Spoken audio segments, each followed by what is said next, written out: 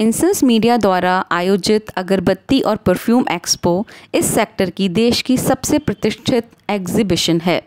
इस एग्जीबिशन के आठवें एडिशन का आयोजन बिहार के पटना शहर में 17 और 18 दिसंबर को किया जा रहा है।